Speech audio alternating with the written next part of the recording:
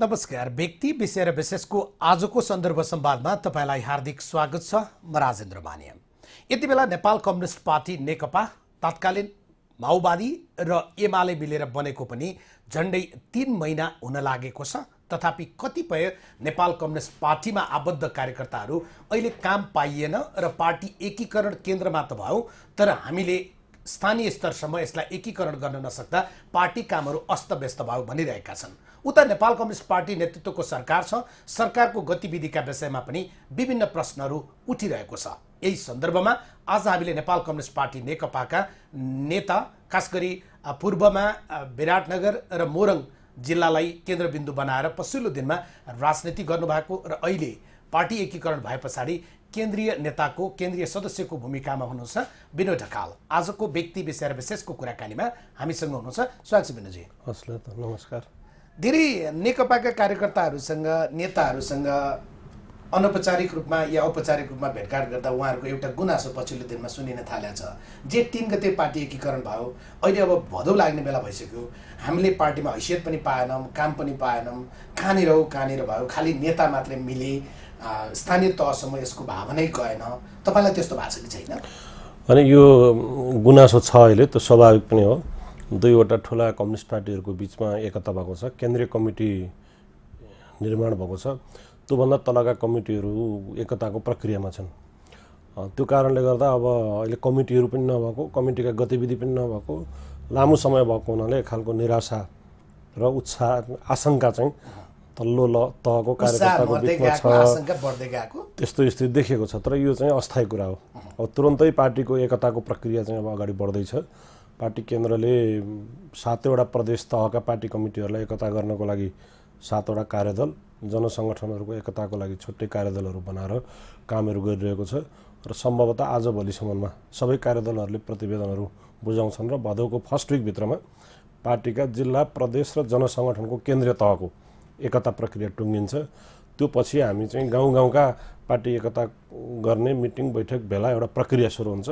र त्यो त्यो अहिले तत्काल आएको जुन गुनासो छ साथीहरूमा शिथिलता छ त्यो एकतापछि यसलाई थप उत्साहका साथ अगाडि बढ्नेछ भन्ने तर तपाईँले त्यसो भन्दै गर्दा अब तपाईँहरू त पार्टी एकीकरण हुँदा पनि झनै केन्द्रीय कमिटीमा पदोन्नति हुनुभयो एउटा भूमिका पाउनुभयो तथापि नाम पाउनुभयो काम पाउनु भएन भन्ने छ। र केन्द्रीय कमिटी नै भन्दा पनि कतिपयको गुनासो थियो। असन्तुष्टि थियो। पर्नेहरूलाई खुसी नपर्नेहरूलाई असन्तुष्टि थियो। अब यो त जनवर्गीय सङ्गठन स्थानीय तहसम्म जाँदा त झनै बढी आक्रोशमा पैदा हुने अवस्था होला नि। त्यस्तो हुँदैन। अब यो कस्तो सबैभन्दा पहिला कुरा चाहिँ यो एकता कुनै पार्टी नेताहरूको इच्छा रहर आवश्यकता बाध्यताले मात्रै भएको होइन। एउटा हामीले विगतको ऐतिहासिक चुनावमा सहकार्य गरेर जाने भन्ने निर्णय भयो र दुईवटा पार्टीको जोइन्ट उम्मेदवारको रूपमा हामी चुनावमा गयौँ। चुनावमै जाँदा आम कार्यकर्ताले जनताले चाहिँ अब यो पार्टी अहिले चुनावी तालमेल एक मात्रै होइन पार्टी एकतै गर्नुपर्छ भन्ने खालको चाहिँ कुरालाई जनताले अनुमोदन गरिसकेका छन्। त्यसले गर्दा यो एकता कार्यकर्ता जनता सबैबाट अनुमोदित पार्टी एकता त्यो जनताको अपेक्षाको कुरा एउटा भयो तर म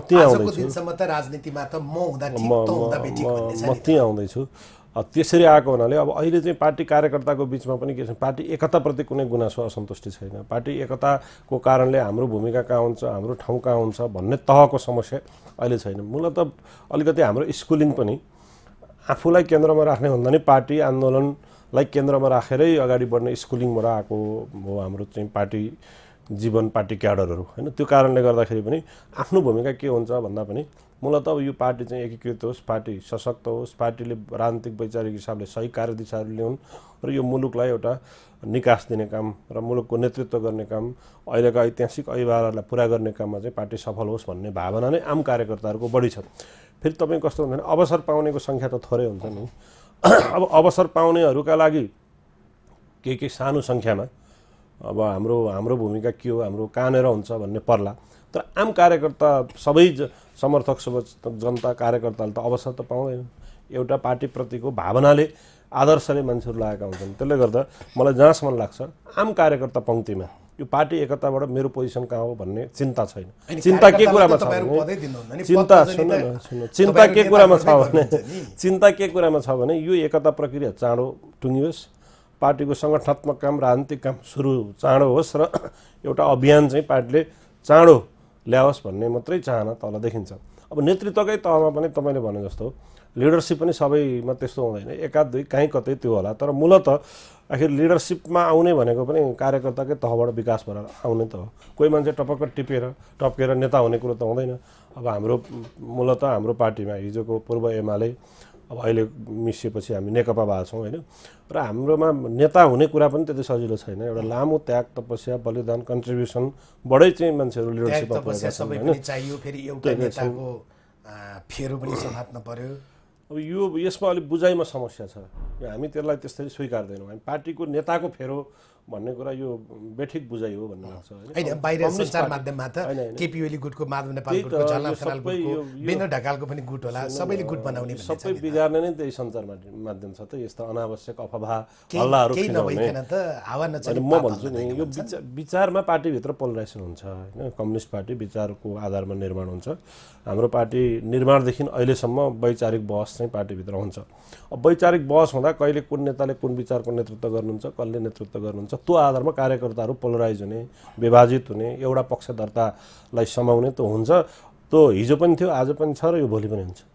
मलाई लाग्छ यो एउटा चाहिँ जीवित पार्टीमा विचारबाट चल्ने पार्टीमा यो स्वाभाविक छ। अब अहिले नयाँ नयाँ निर्माण भएका विचार सिद्धान्त केही नभएका पार्टीहरूमा त कमिटी गठन गर्दा हो हल्ला कुटाकुट भएका चाहिँ युट्युबमा भिडियोहरू हेर्न पाइन्छ होइन? त्यसले गर्दा यो त एउटा लामो लामो एउटा लामो मैले नाम लिइनँ। यो त एउटा लामो राजनीतिक वैचारिक प्रक्रियाबाट आएको पार्टी भएको हुनाले त्यो विचार निर्माणको सन्दर्भमा कार्यकर्ताहरू पोलराइज हुने विभाजित हुने ओ- यो वा त्यो नेताको नजिक पुग्ने त्यो हुन्छ स्वाभाविक हो। तर त्यो चाहिँ कुनै आफू प पोजिसनमा पदमा पुग्नको लागि फेर समाएको होइन पार्टी निर्माणको लागि राजनीतिक वैचारिक हिसाबले अब पार्टीलाई को लिडरसिपमा जाँदा सहज हुन्छ अगाडि बढ्छ कुन विचारले पार्टीलाई नेतृत्व गर्दा राम्रो हुन्छ भन्ने हिसाबले कार्यकर्ता विभाजित भएको कुरा अहिले जो पार्टी एकीकरण भइसके पछाडि चुनावले अनुमोदन गर्दा पनि पार्टीको तात्कालीन एमालेको नवौँ राष्ट्रिय महाधिवेशनले पनि जसरी केपी ओलीलाई अध्यक्षमा निर्वाचित गर्यो त्यस पछाडि आजको दिनमा आउँदाखेरिमा चाहिँ समग्र नेकपा भनेको केपी ओली हो समग्र सरकार भने पनि केपी ओली हो उहाँका नजिकका कार्यकर्ता या उहाँसँग सहमत हुनेले अवसर पाउने अरू चाहिँ अहिले कोइराको काग जस्तो बन्ने यो प्रकारको भित्री भुसको आगो जस्तो असन्तुष्टि यो पनि सञ्चार माध्यमले मात्र यो बाह्य हल्ला हो। पा पार्टीभित्रै पनि अलिअलि त्यो खालको हल्ला फिलिङ्स होला त्यो न हुँदैन छँदै छैन म भन्दिनँ। तर यो बाह्य हल्ला हो भन्ने लाग्छ मलाई। किनभने जतिखेर केपी ओली यो पार्टीको नव महाधिवेशनबाट अध्यक्ष हुनुभयो मान्छेहरूले अनेक ढङ्गले आ आशंका गरेका थिए। केपी ओलीको छोचो स्वभाव शैली होइन उहाँ चाहिँ लागेको कुरा बोल्ने। अब यत्रो संविधान बनाउनु छ माओवादीसँग सहकार्य गर्न छ। केपी माओवादीलाई देखिन सक्ने। त्यत्रो आक्रमण गर्ने प्रहार गर्ने। अब केपी ओली चाहिँ अब एमालेको नेतृत्वमा आएपछि अब यो मुलुकमा संविधान पनि बन्दैन। माओवादी र एमालेको बिचको दूरी झन् बढ्छ र मुलुक चाहिँ एउटा डेन्जर जोनमा जान्छ भन्ने खालको चर्चा तर्क मान्छेहरूले गर्ने गर्थे। तर आखिर व्यवहारमा के भयो त? केपी ओली एमालेको नेतृत्वमा आएपछि मुलुकमा संविधान बन्यो होइन? माओवादीसँग माओवादीको सहकार्य माओवादीसँग सहकार्य भयो संविधान बन्यो। कङ्ग्रेसलाई पनि ती एजेन्डाहरूमा ल्याउने खालको एउटा स्थिति बन्यो। एमालेको नेतृत्वमा सरकार बन्यो। हुँदाहुँदै अब माओवादी र एमालेको बिचमा पार्टी एकता भएर अब एकीकृत पार्टी शुद्ध बन्यो। भनेपछि एउटा नेतृत्वको कारणले मुलुकको परिवर्तनमा कति धेरै प्रभाव पार्दो रहेछ भन्ने चाहिँ एउटा यो एक्जाम्पल हो भन्ने मलाई लाग्छ होइन? एउटा घटना। अलि बढी तपाईँहरू जस्ता कार्यकर्ता मैले यहाँ खुलेर भन्नुहुन्थ्यो हुँदैन थियो तपाईँले स्वीकार गर्नु गर्नु तपाईँको कुरा हो। तपाईँ जस्ता धेरै तत्कालीन एमालेभित्रका नेताहरू चाहिँ केपी ओलीलाई देवत्वकरणै गर्नुहुन्छ र केपी ओलीको सबै कुरामा चाहिँ त्यसैलाई भजाउनुहुन्छ भन्ने आरोप छ। हामी चाहिँ देवत्वकरणको सबैभन्दा विरोध गर्ने भनेको कम्युनिस्टहरूले गर्छन्। हामी देवत्वकरण स्वीकार्दैनौँ हामी भौतिकवादी हौँ होइन? त्यसले गर्दा जहाँसम्म केपी ओलीको प्रसङ्गमा मान्छेको असल कुराको त प्रशंसा पनि गर्नु पऱ्यो नि त। गरेका कुराको प्रशंसा गर्नु पऱ्यो होइन? आखिर उहाँको लिडरसिपमा संविधान बनेकै हो। उहाँको लिडरसिपमा माओवादीसँगको निकटता बढेकै हो पार्टी एकता भएकै हो। अब यो कुरालाई भन्दाखेरि देवत्वकरण भन्न मिल्छ र यो त रियालिटी हो। उहाँले गर्नुभयो र एउटा अवसर पनि सृजना भयो। होइन इतिहासमा सम्भवतः विश्वमै साह्रै दुर्लभ प्रकारको घटना दुईवटा ठुला र त्यसमा पनि शत्रुतापूर्ण सम्बन्धबाट गुज्रेका कम्युनिस्ट पार्टीहरूको बिचमा एकीकरण भयो। एक्काइसौँ शताब्दीको मार्क्सवाद या माओवाद मान्ने चाहिँ माओवादी पार्टी र जनताको बौद्धले जनवाद मान्ने दुईवटा पार्टीका बिचमा सिद्धान्त नै एकीकरण भएर जानुभयो। तर त्यो एकीकरण पछाडिको परिदृश्य हेर्दाखेरिमा त्यो खालि प्राविधिक कुरा थियो त्यो भावनात्मक कुरा चाहिँ थिएन कि भन्ने त अहिलेसम्म देखिँदै आएको छैन। होइन यो अहिले पार्टी एकता भएको हाम्रो जेठ तिन गते होइन। अहिले हामी भदौ साउनको लाग्दैछ। साउनको पच्चिस गते आज यहाँ हामी बसिरहेको छौँ तिन महिना भन्नु तिन महिना भयो। तिन महिनाको अवधिमा यो त यो असाधारण घटना हो भन्छु मैले। राजनीतिक वैचारिक हिसाबले दुईवटा भएको सुन्नु न दुईवटा असाधारण? फरक पार्टीहरूको बिचको एकता यो आफैमा एउटा असाधारण घटना हो। अनि एकता चाहिँ कहाँ गर्नु अब सुन्नु न म म त्यहाँ आउँदैछु। म त्यहाँ आउँदैछु नि पार्टीको विधान बन्यो। पार्टीको वैचारिक कार्यदिशा तय भयो होइन नियमावली बने त्यो ढङ्गको ओरिएन्टेसन तल तल कार्यकर्तालाई भएको छ। अब त्यो विधान र राजनीतिक ओरिएन्ट ओरिएन्टेसनभित्र रहेर अब चाहिँ तल तलका कमिटीहरू एकताको प्रक्रिया सुरु भएको छ र तपाईँ भदौको पन्ध्रभित्रमा मोटामोटी हामी जिल्ला प्रदेश तहका सबै कमिटीहरू जनसङ्गठनका सबै केन्द्रीय तहका कमिटीहरू एकता गर्छौँ। भनेपछि यो काम एउटा दुईवटा पार्टीको बिचमा चाहिँ राजनीतिक वैचारिक बहस छलफल डिस्कसन गरेर एउटै राजनीतिक कार्यदिशा बनाउने कुरा यो त सामान्य कुरा होइन नि त। यो दुई अढाई महिनाको बिचमा त्यो काम हामीले सुन्नु विधान हामीले बनायौँ। होइन? नियमावली बनायो कार्यविधि बनायो भन्दै गर्दा त्यो तपाईँहरूले केन्द्रमा नै त्यसको दस्तावेज बनाउनु भएको छ। सम्भवतः तपाईँ केन्द्रीय सदस्यहरूले त्यो पढ्न पाउनु भएको छैन। पढिसकेका छौँ हामीले कि? सुन्नु न यो तपाईँले अझै बुझ्नु भएन। सबैभन्दा पार्टी अर्गनाइजेसन चल्ने भनेको त केन्द्रीय विधानअनुसारै चल्ने हो नि त। जिल्ला जिल्लाको छुट्टै विधान त हुँदैन। त्यो विधान त एउटा अब- सङ्गठित कार्यकर्ता अब पार्टी भन्नुहुन्छ अब? पुग्दैछ नि पुग्दैछ अहिलेको दुनियाँमा यो नेट इन्टरनेट यत्रो चाहिँ टेक्नोलोजीको दुनियाँमा सबै हाम्रा नेटमा अन- अनलाइनहरूमा हालिदिएको छ। विधान पढ्नलाई त कुनै खाँचै छैन नि। पढ्न चाहने मान्छेहरूले पढ्न पढ्ने पाउने कुरा त पढिहालेका छन् र अब जिल्ला जिल्लामा विधानहरू पुगेका पनि छन्। अब हामीले मातहत कम्पिटिसन पनि पुर्याएका छौँ होइन। हाम्रा अपानीहरू पनि पुगेका छन् छापिएर प्रिन्ट नै भएर पुगेका छन्। नपु यो नपुगेको भन्ने कुरा होइन। तर अब एकताको कुरा चाहिँ कस्तो हुन्छ भने यो स्वाभाविक रूपमा दुईवटा पार्टीको बिचको एकता तल तलसम्म छलफल डिस्कसन नगरी सबै माथिबाटै तोकिदिने कुरो त भएन। त्यसले तर गर्दा तर सुन्नुहोस् न केन्द्रीय कार्यालयको हालत हेर्नुहोस्। हजुर। होइन? केन्द्रीय कार्यालयको हालत। बल्ल आज तपाईँ र म यो शुक्रबार सम्वाद गरिरहेको छौँ। बिहिबार निर्णय गर्नुभयो। पार्टीको केन्द्रीय कार्यालय चाहिँ धुम्बाराईको तत्कालीन एमालेको कार्यालयमा बस्ने जनवर्गीय सङ्गठनहरूको कार्यालय चाहिँ तत्कालीन माओवादी केन्द्रको कार्यालय पेरिस डाँडामा बस्ने भनेर। होइन? अहिलेसम्म त तपाईँ नेता कार्यकर्ताहरू केन्द्रमा आउँदा कुन कार्यालयमा जाने हो भन्ने दुविधामा हुनुहुन्थ्यो। पार्टीको अध्यक्ष प्रचण्ड या केपी ओलीलाई भेट्नलाई कुन कार्यालयमा जाँदा भेटिन्छ भन्ने दुविधामा हुनुहुन्थ्यो। जिल्ला जिल्लामा प्रदेशमा सबै स्थानीय तहसम्म दुइटै पार्टीको कार्यालयहरू हिजो थियो। त्यो सबैको व्यवस्थापन भएको छ अब त तलको एकतासँगै यो सबै व्यवस्थापन हुन्छ। क- रहेछ भने हाम्रो लगभग पचहत्तरै जिल्लामा पूर्वमा एमालेको आफ्नै प्रपर्टी आफ्नै कार्यालयहरू छन्। माओवादीको पनि धेरैमा छ तर केहीमा उहाँहरूको छैन। तपाईँ त्यसले त गर्दा बारम्बार सत्तामा जानुभयो मदन त्यसले गर्दाखेरि होइन पार्टीकै आफ्नै प्रपर्टी आफ्नै। पार्टी आफ्नै पार्टीकै प्रपर्टीहरू छन्। त्यसले गर्दा अब मलाई जहाँसम्म लाग्छ तपाईँले यो विषयलाई अलि बढी हाइसाउन्ड गरिरहनु भएको छ है। केन्द्रमा लगभग अब यो त एउटा सङ्क्रमणकालीन अवस्थामै छौँ हामी। स्वाभाविक हो। सुरु सुरुमा केही दुविधा हुनु केही असहजता हुनु होइन स्वाभाविक थियो। त्यो कारणले अलिक बार हामी दुइटै पार्टी कार्यालयको अभ्यास पनि गऱ्यौँ। अब बिस्तारै सहज भयो? बिस्तारै सहज भयो। अप्ठ्यारो भएको होइन। अब सहज भयो।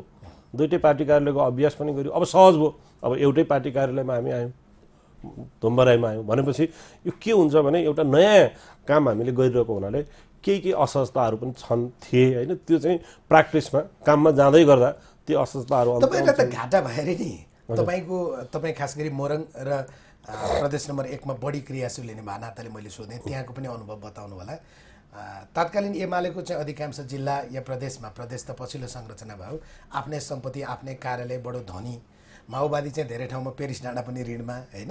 सबै ठाउँमा चाहिँ उसको चाहिँ अलिक कम सम्पत्ति त तपाईँहरूकै उहाँहरूले हिस्सा पाउनुहुने भयो क्या? त्यो के घरमा लग्ने बाँड्ने खाने लाउने होइन?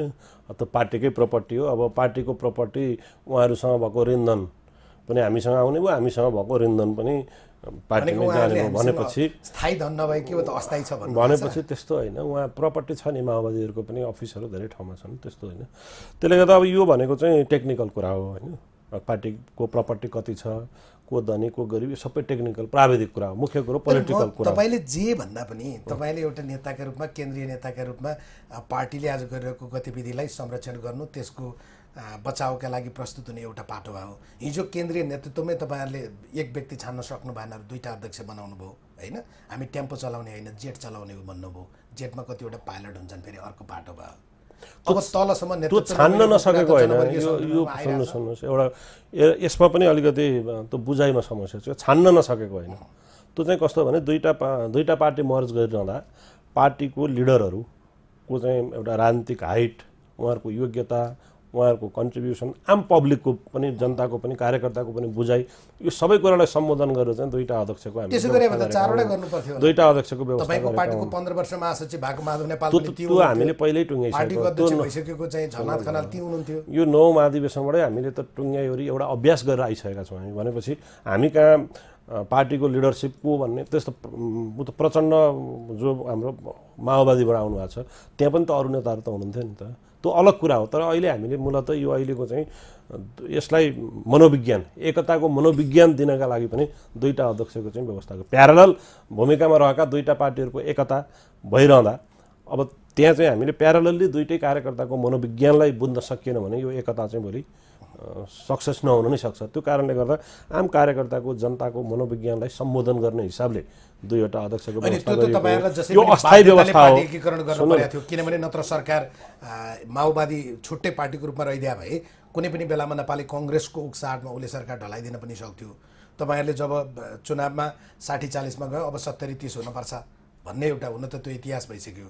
त्यो दम्ब देखाउँदै गर्दा त पचास पचास भएन भने पार्टी एकीकरण हुँदैन भनेर प्रचण्डले बोलिदिनु पनि भयो। बाध्यता पनि थियो तपाईँहरूलाई होइन यो बाध्यता त हिजो पनि थियो होला नि त। बाध्यताले मात्रै हुँदैन। यो परिस्थिति म्याच्योर्ड हुनुपर्छ।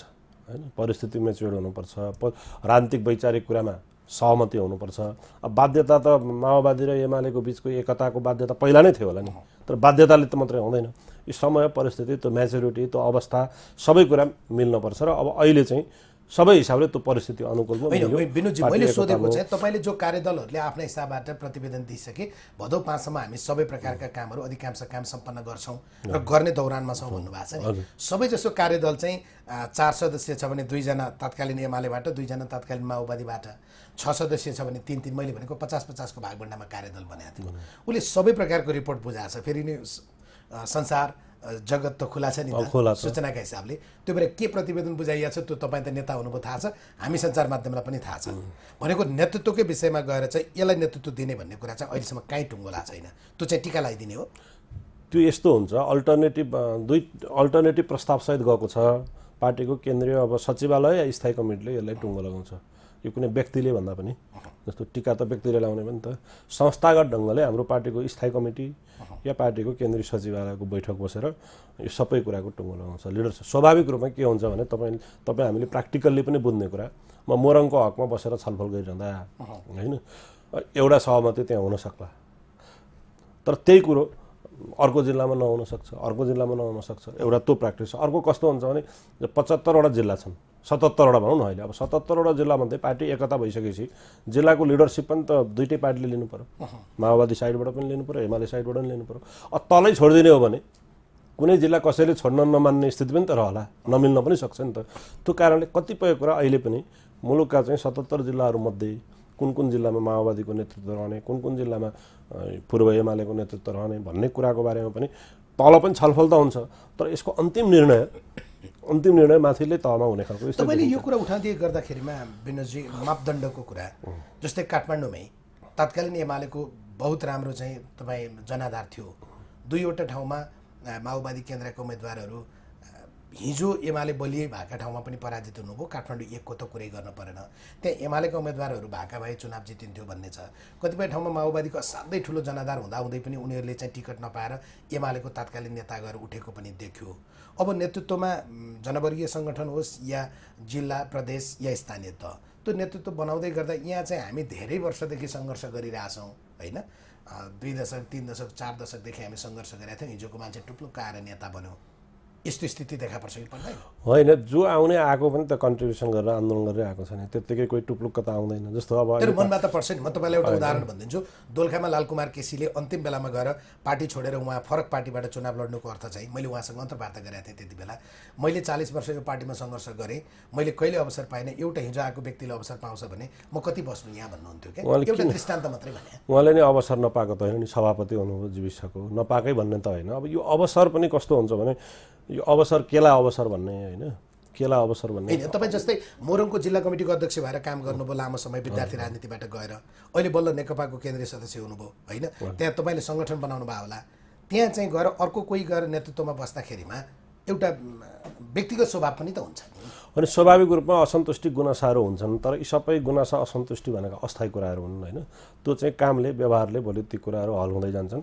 र मलाई जहाँसम्म लाग्छ अहिलेको यो हाम्रो एकता प्रक्रियामा तपाईँले जुन अलि बढी चासो लिनुभएको छ यो एकता प्रक्रिया चाहिँ एउटा मापदण्डकै आधारमा हुन्छ त्यो मापदण्ड भनेको आखिर अब अब के हो भने नि अब के हो भने अब त पार्टी चलाउने कुरा हो नि पार्टीको नेतृत्व गर्ने कुरा हो। अब एउटै पार्टी बनाउने कुरा हो। एउटै पार्टी रहेछ प्रचण्डले वर्तमान सरकारमा रहेका मन्त्रीहरूलाई सरकारको अहिलेको जो पर्फर्मेन्स छ त्यो सोचे जस्तो भएन भनेर मन्त्रीहरूलाई बोलाएर चाहिँ निर्देशन दिँदा कि पूर्व माओवादीबाट आएका अधिकांश मन्त्रीलाई मात्रै बोलाउनु भएको थियो। एमालेबाट आएका मन्त्रीहरू बोलाउनु भएन। अहिले पनि घर त दुइटै चलाइया रहेछ नि। होइन त्यो पोलिटिक पोलिटिकल्ली त्यो लिगासी त स्वाभाविक रूपमा।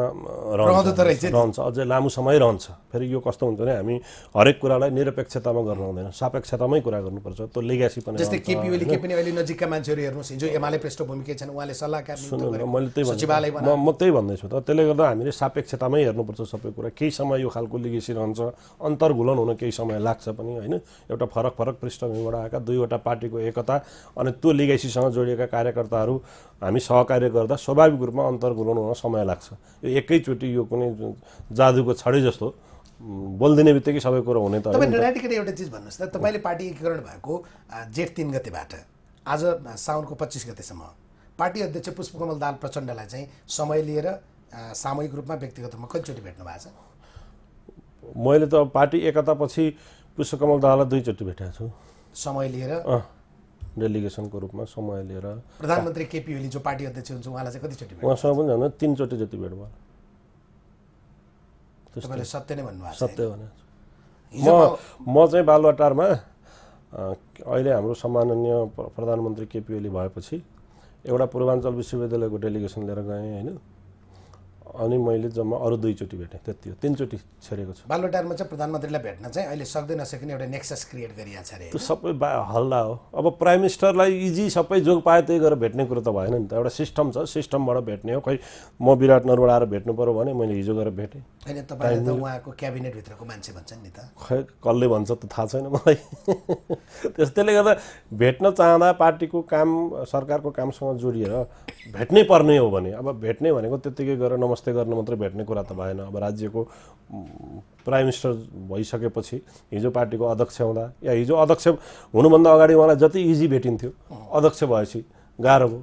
अब अहिले प्राइम मिनिस्टर भएपछि झन् गाह्रो हुन्छ त्यो स्वाभाविक हो नि त्यो त जिम्मेवारीले व्यस्तताले त्यो हुन्छ। तर भेट्नै नपाउने एउटा नेक्सस क्रिएट गरिएको छ भन्ने चाहिँ अब अलिकति हल्ला खल्ला पनि होला। केही केही का- अब त्यसैका कारणले चाहिँ हिजो केपी ओलीलाई कम्युनिस्ट पार्टीमा त कमरेड भन्ने होइन?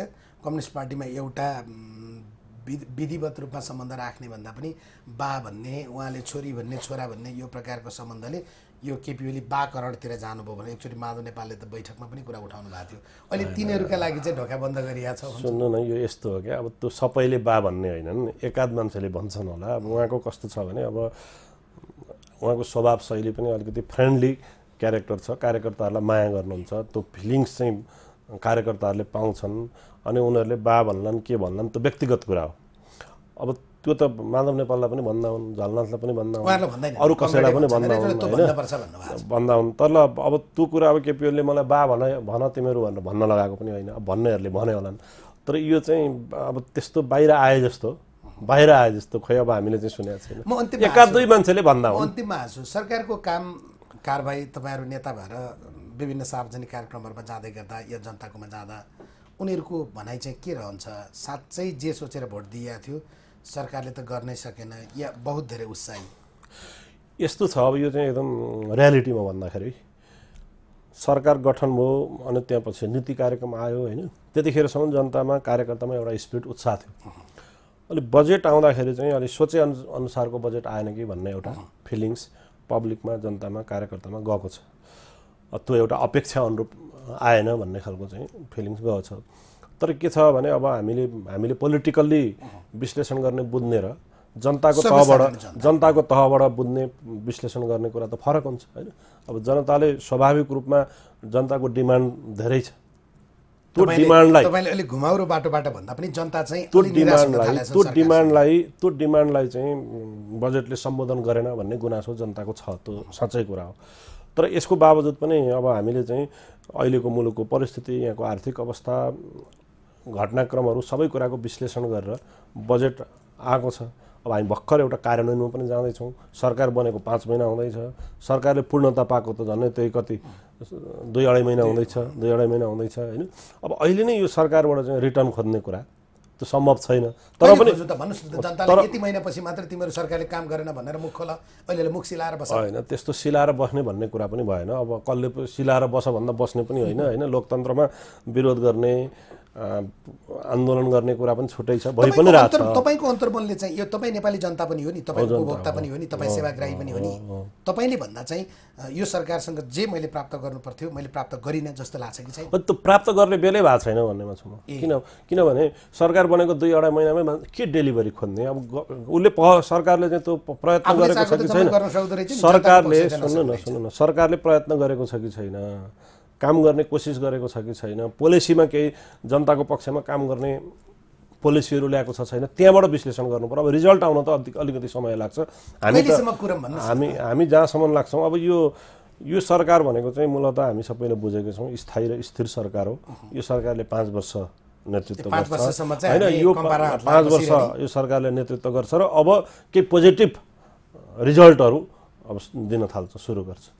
हस् तपाईँले जो अपेक्षा देखाउनु भएको छ यस्तै होस्। तर नेताहरूले भने जस्तो भन्छन् नेता गर्दैनन् अनि यिनले दिएको आश्वासन अब चाहिँ कम्तीमा पनि पत्याउनु हुन्न भन्ने स्थिति नबनोस् तपाईँलाई धन्यवाद। बन्दैन। हस् ल धन्यवाद। विनोद ढकाल हामीसँग आजको व्यक्ति विषय विशेषको कुराकानीमा हुनुहुन्थ्यो। खास गरी पार्टी एकीकरणभित्रका प्राविधिक पाटोहरू पार्टी एकीकरण भए पछाडिको तिन महिनामा जुन प्रकारको परिदृश्य देखिएको छ अब भनिएको छ भदौ पाँचभित्र सबै काम सम्पन्न हुन्छ। के सम्भव छ? अनि सरकारले पाँच महिनाभित्र जो प्रकारको कार्य सम्पादन गर्यो विवादभित्रबाट पनि सडक सरकार गुज्रियो। त्यो विवाद स्वाभाविक थियो या त्यसलाई चिरेर सरकार अब अघि जान्छ? यही विषयको कुराकानीसँगै कार्यक्रम सकिन्छ खबरभित्रको खबरका लागि हेर्दै रहनुहोला। एभी न्युज खबर नमस्कार। Thank you.